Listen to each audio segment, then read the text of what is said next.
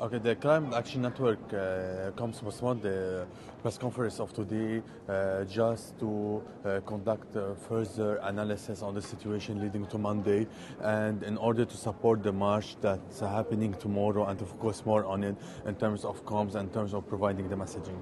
Okay, tell me about the march. We don't get many marches in Doha. Um, how has this been organised? What is the march about?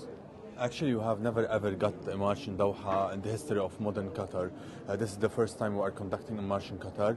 Uh, it's a very political message, and it came after negotiation of seven months. Uh, it shows that uh, a march happening in a country which is a gas, a natural gas exporting country, and part of GCC and part of, of, the, of the OAPEC, and marching against climate change shows that the willingness of, uh, first of all, uh, the Arab countries uh, of leading for, to, to, to save the problem of climate change and to push the Qatari government, especially the Qatari uh, presidency, uh, to pledge more and ambitiously to, to also solve the problem, the problem of climate change and to lead the other countries to do the same.